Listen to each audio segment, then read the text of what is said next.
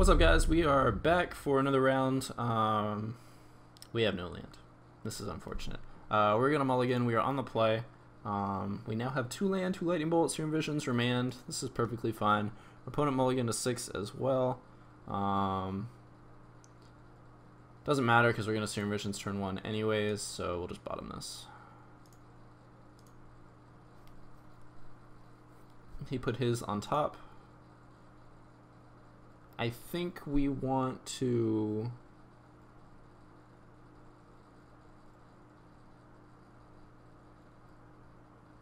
Uh, Skeleton needs to find us a white source. Um, and we need to see Visions turn one, so there's no way to... I guess we could... Nah, I think I'm just going to Steam Vents. I don't know. I had... There were words that I wanted to say, but they were too hard. So I chose not to say them. Hey, here's the planes. Um, Path Exile I don't think we want, but we'll keep the planes.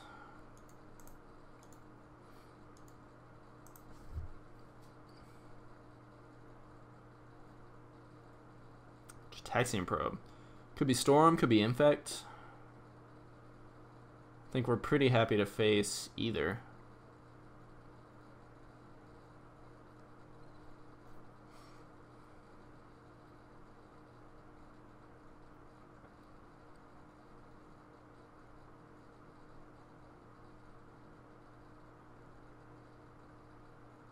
Could be, oh yeah, this is uh, Suicide Zoo. Alright.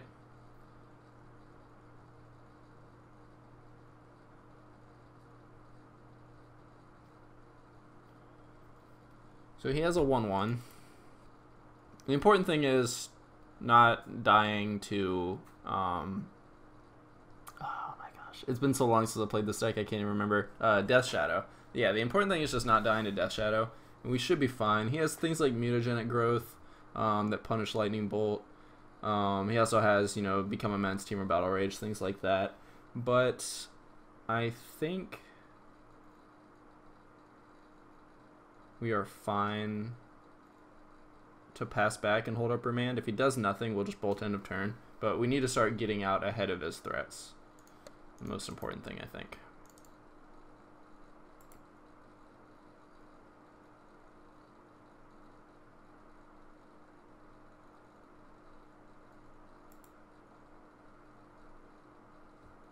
And I'll let him hit us for three here.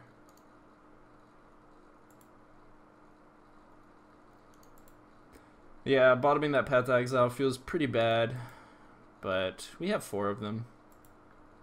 We should find another. He passes back. He can't become immense, but he can mutagenic growth to save this guy here. That's fine. Used mana, which is interesting.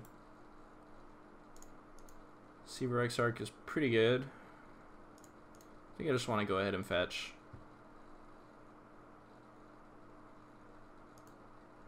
I think I want to get Island. Mm, that doesn't seem right. I, I probably should have definitely got Mountain there.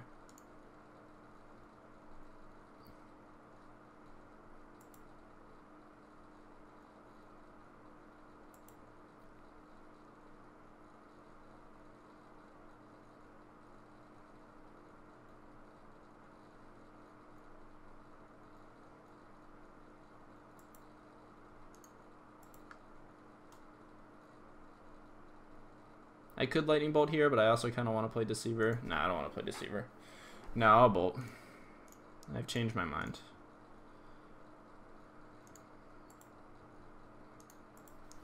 Okay.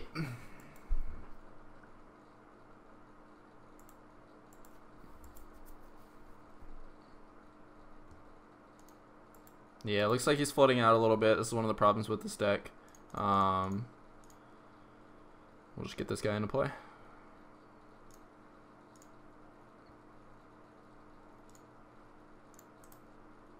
Does play four Thoughtseize, which is important to keep in mind, but it looks like he needs threats. Um, he doesn't have a Death Shadow. If he had it, he would have played it. All of his stuff costs like one or two mana, so the remands aren't that great unless I'm hitting a Become Immense. Um, So like he's going to eventually draw like a Kird Ape or something, and remands gonna feel pretty bad. But we're really just looking for our fifth land at this point.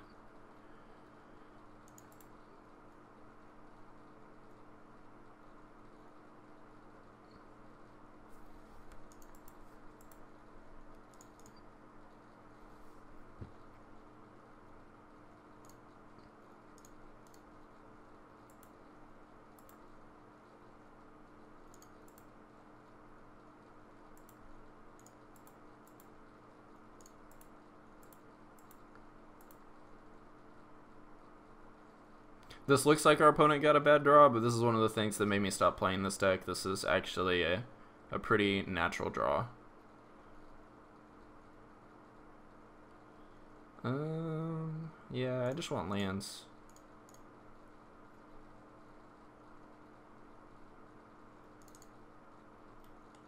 This card's pretty much dead.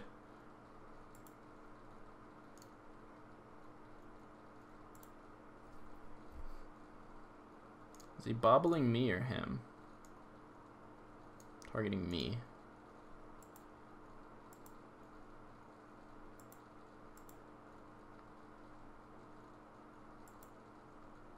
Interesting that he's not fetching there. I guess he just doesn't want to take the damage. like,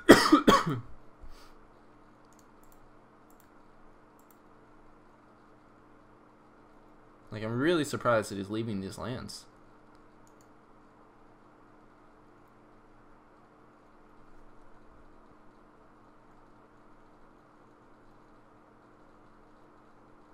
Alright, it starts to make a little bit more sense. I still think he would want to be playing that Monastery Swift Spear, though.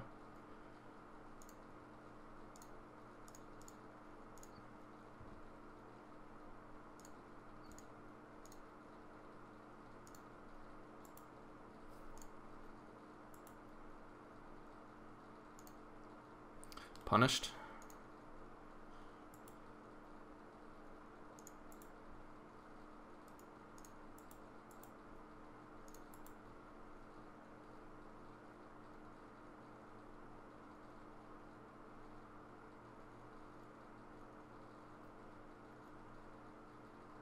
I have a spell snare for a Temur battle rage. Um, I have a remand for become immense. If he fetches a bunch, I could just like bolt and kill him.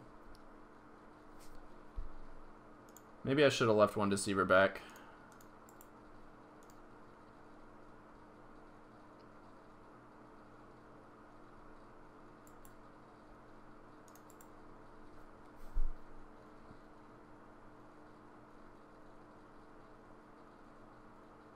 I think he goes for the kill here, but I have like Spell Snare for the Battle Rage. I have a Remand for a Become Immense.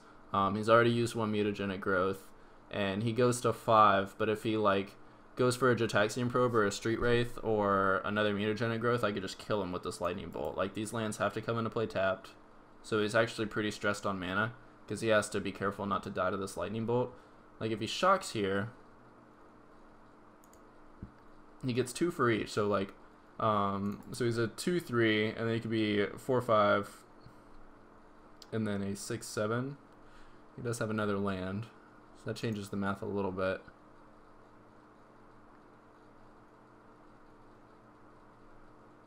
So he has one trigger, he's going to get three more.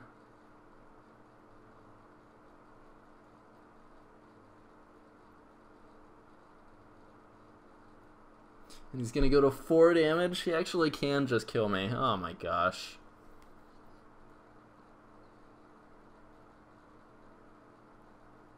Oh no, he only has five he only has five shocks in his deck. I forgot about that. He only has five shocks in his deck.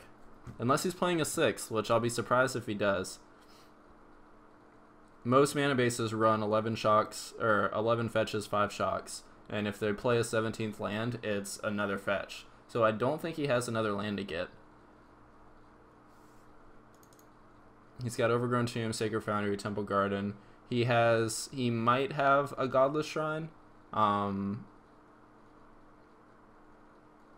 I know he has a Blood Crypt.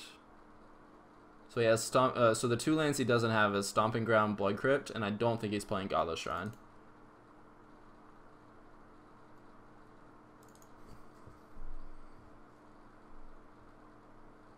Yeah, so I'm not sure he can kill me.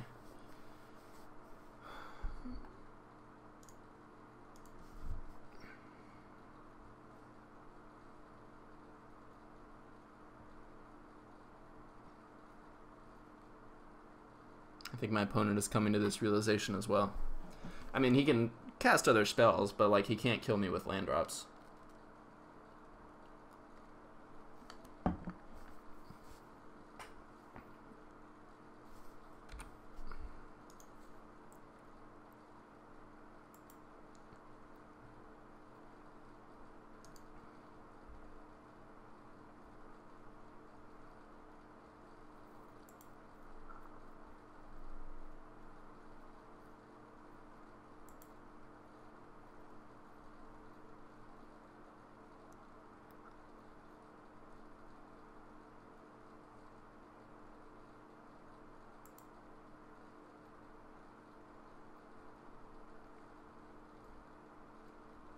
He can become immense me twice though.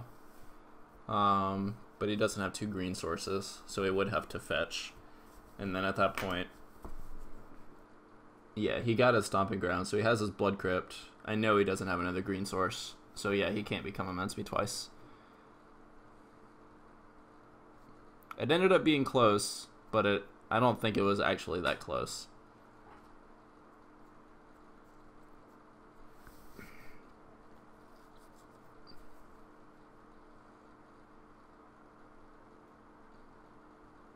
Think we have to remand this.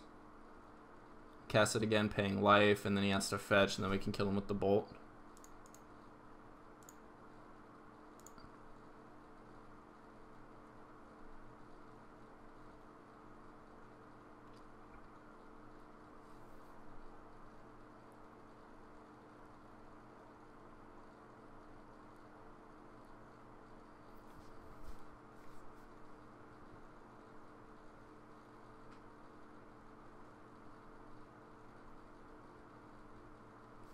Okay. He's at 8. Unless he has a bolt of his own. He could be playing Lightning Bolt. I haven't seen a Thoughtseize yet. Um, that'd be pretty bad for me if he is playing Lightning Bolt.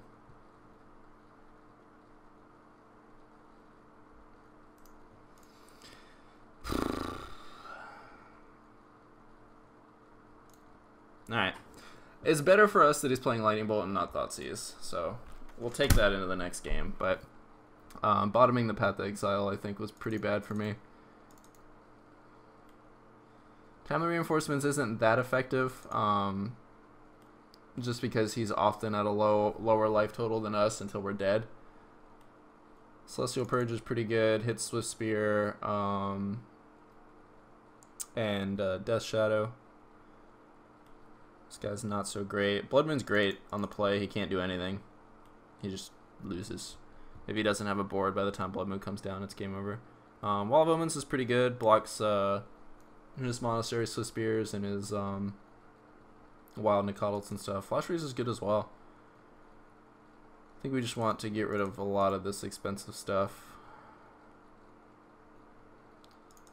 I cut Spell Snare. It hits Temur Battle Rage, but that's it. I have Dispel and other stuff for that. The remands are bad also just because I'm losing a mana on that exchange. And I think I just want to trim some twin. I'll win with like Restoration Angel beats, stuff like that.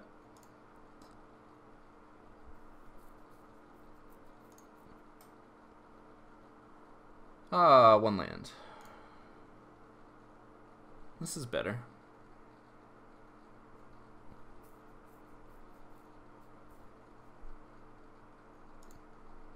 Yeah, our opponent mulliganed, but his deck mulligans often, so.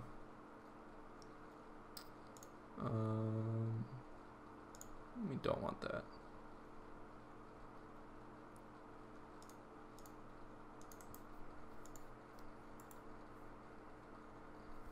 He doesn't have any basics.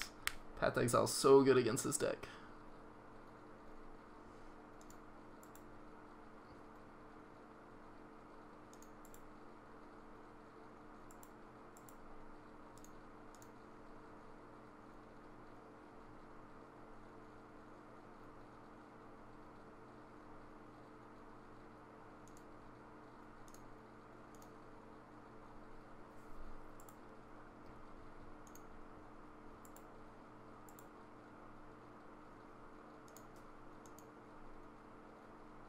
He does have Apostle's Blessing, but we have the Dispel, and I kind of want to get those tricks out of his hand.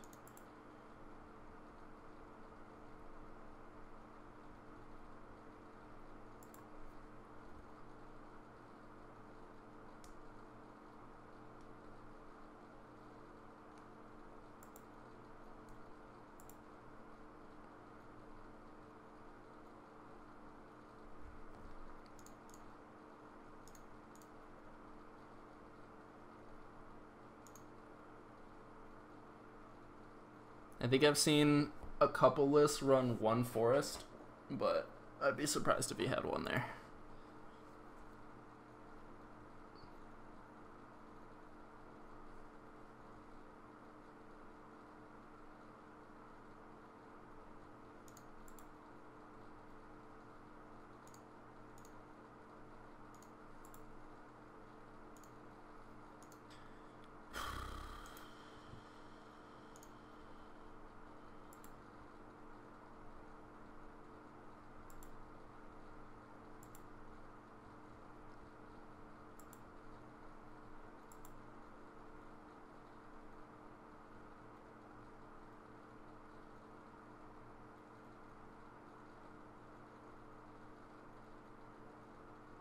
Bolting himself to play a Death Shadow. gotta love it. I'm gonna dispel this though.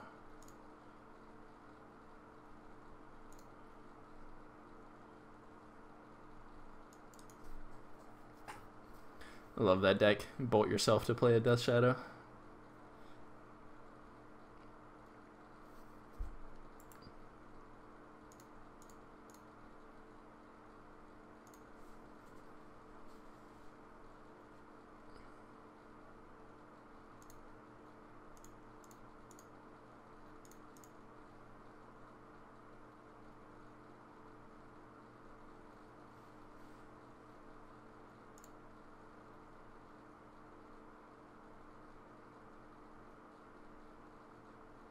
So we know he has Death Shadow and two cards in hand.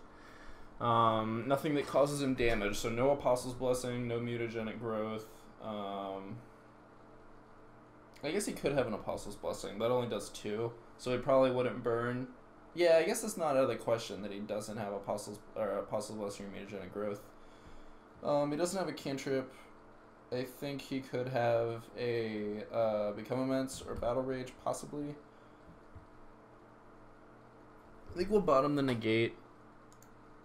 Leave the island.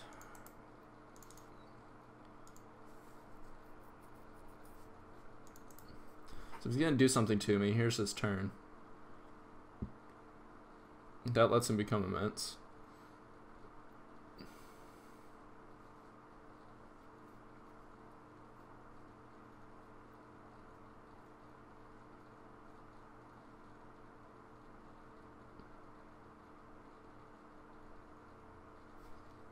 We're going to clean up.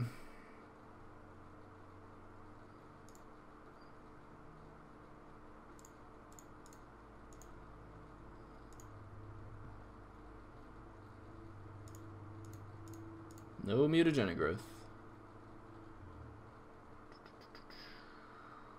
Alright, he had it. So we're going to 9, but then uh, we should be able to lock him up from here. Assuming he doesn't have the combo still.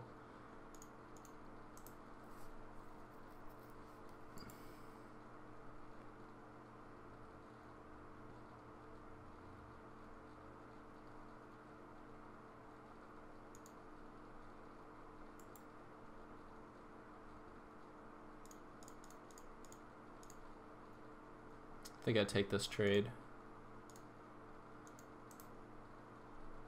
Yes.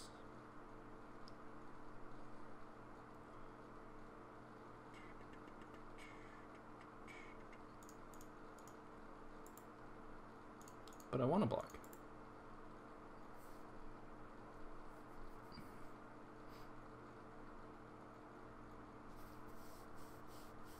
That's fine.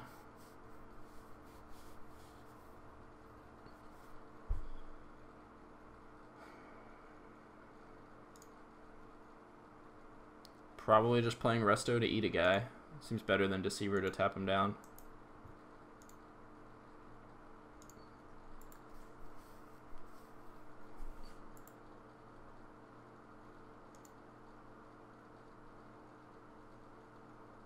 Ah, I'll play Deceiver. That gives him another turn to draw Become Immense, though. Well, if he has to Become Immense, I would want him to use it to try and kill the Deceiver. Because the Deceiver can just block Wild Nacatl all day. So this is probably better.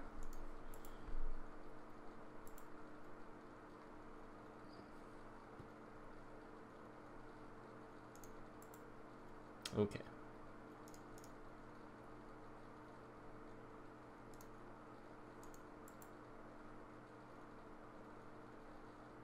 I don't even know if I want to play this Scalding Tarn. That might hold him back. Like, he might attack here, and I can get a creature with the Restoration Angel. Um, if I play Scalding Tarn, he might hold back because he doesn't, and then we're in the standoff.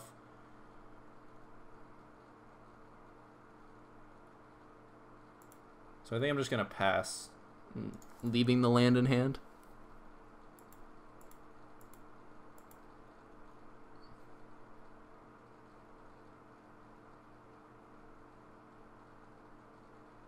So if he has become immense, and I let him attack,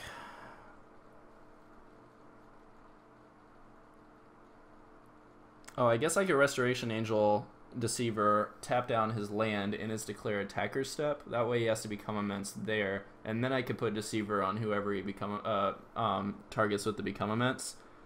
Um, and then I get to eat a wild Nacatl. Yeah, so that's better. I because I want to be able to ambush a guy. If I blink in the Restoration Angel here, he just won't attack. But here he probably sends everything.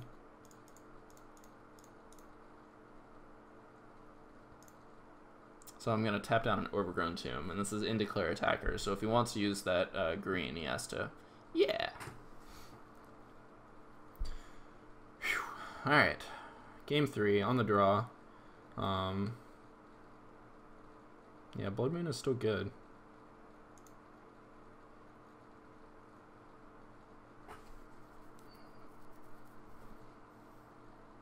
I don't know. Maybe Timely Reinforcements deserves a spot. He often has creatures. If he doesn't have creatures, I think I'm winning.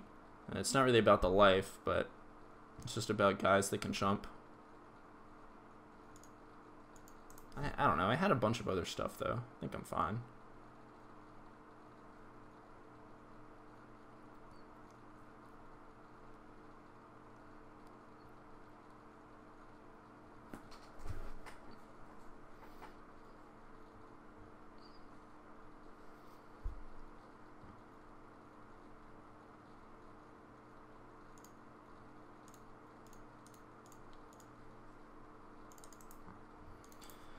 And this is where this deck has trouble, um, where I can just like kill a thing, kill a thing, take another thing. He can't really fight through that grind. Wild Nacatl is pretty good against Celestial Purge though. Not against Path Exile.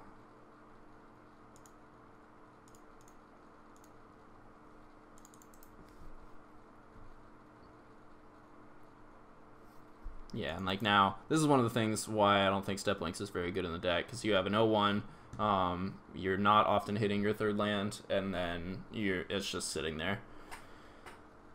And he's got like three cards in hand, and I was able to deal with two of his creatures, so like three creatures is a really solid draw for him, and it's just like a couple removal spells, and I was able to trade, and now I'm sitting at 18, and he's just you know playing Drago, which is pretty bad for him.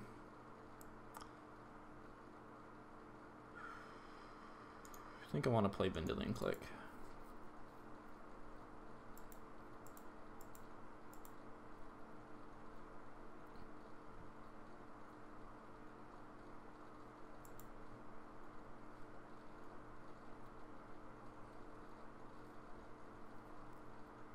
This thing might just eat a bolt and take something else out of his hand, but I think that's good enough.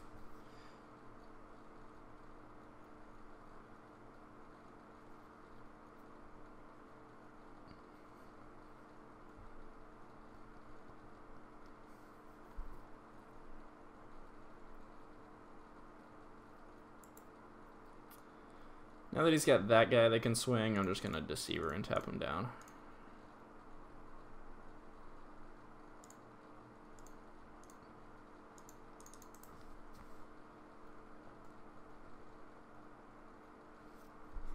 Path is good.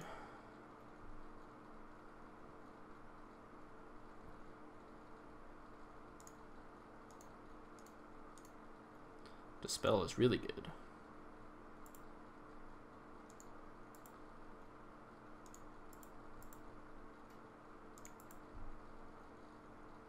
And we're going to path on his turn because of Apostle's Blessing. We also want him to fetch. Makes his uh, um, other Steppe Lynx worse if he draws another one.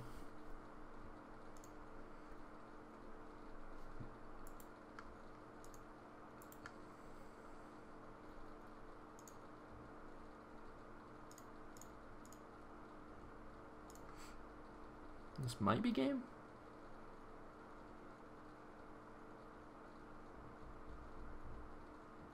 Is game. All right, so that was that. Um, Suicide Zoo is a really good, like, it's a it's a fun deck. It's fast, it's powerful. Um, it can just, you know, it's capable of incredibly explosive draws, but uh, definitely having Path to Exile in addition to Lightning Bolts is really good for me. He doesn't play any basics, so it's, you know, literally one mana removal, no drawback. Um, yeah, I think this is a really good matchup for me. Um, Suicide Zoo beats up on a lot of decks in the format, but Twin probably not so much. Um, I wish we were able to play either a blue matchup or a mid-range matchup, but we ran up against two land decks and a aggro deck. Um, we did all right. I feel like our amulet player. I always feel like they get lucky. I, I think it's just a really good deck. Um, better than people give it credit for. But uh, yeah, that's that. Uh, hope you guys enjoyed the videos this week. Thanks for watching, and I will be back next week.